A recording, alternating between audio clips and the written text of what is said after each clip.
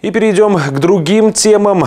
Так решил собственник. В город администрации рассказали, из-за чего в Кирове сносят киоски Роспечати. Оказывается, дело в их нерентабельности. Все подробности далее. Наш эфир продолжит рубрика «Короткой строкой».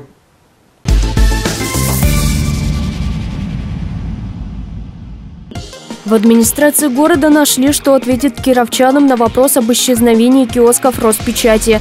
Решение о закрытии было принято собственником бизнеса.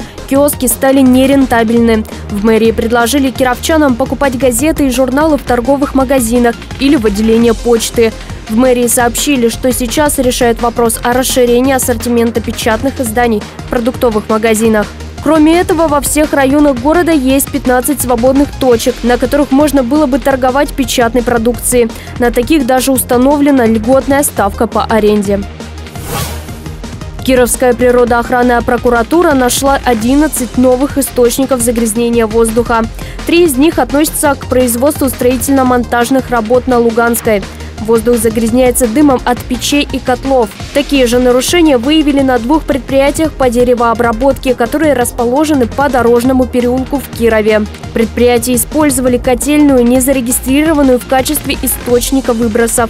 Руководителям организации были внесены представления. Парках и на набережной стало светлее. Там после жалоб кировчан и активистов ОНФ восстановили освещение. Фонари не работали на набережной Грина, в Александровском саду, Кучеровском парке и Парке Победы. Сейчас лампы заменили везде. Правда, по словам активистов, кировчане снова жалуются на неработающие фонари. На развитие культуры Кировская область получит 20 миллионов рублей. Эти деньги будут направлены на 19 проектов, такие как Всероссийский Воснецовский пленэр Вятского художественного музея, Гончарная сказка Шижмы, Дома детского творчества «Фантазия верха Шижемье». Один проект получит больше 3 миллионов рублей, 7 до 3 миллионов. Остальные проекты победители получат до 500 тысяч рублей.